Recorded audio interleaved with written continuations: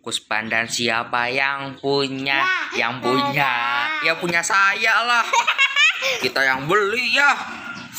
Ah ini bolu kukus pandan. Woi, kamu coba ah. Nah, kita coba nih ya, guys. Kita Iya. coba nih. Bolu kukus pandan siapa yang punya? Kakak. Ya kita lah, kita yang beli ya. Iya. Am. Maka ngomong gitu. Hmm, kita coba ini yang saya kita coba ya bolu pandanya. Hmm. Hmm, enak. kasih ke sana tinggal ambil Coba nih. eh, kata bunda gimana ini jadi dimakan Nggak apa-apa, gua mah.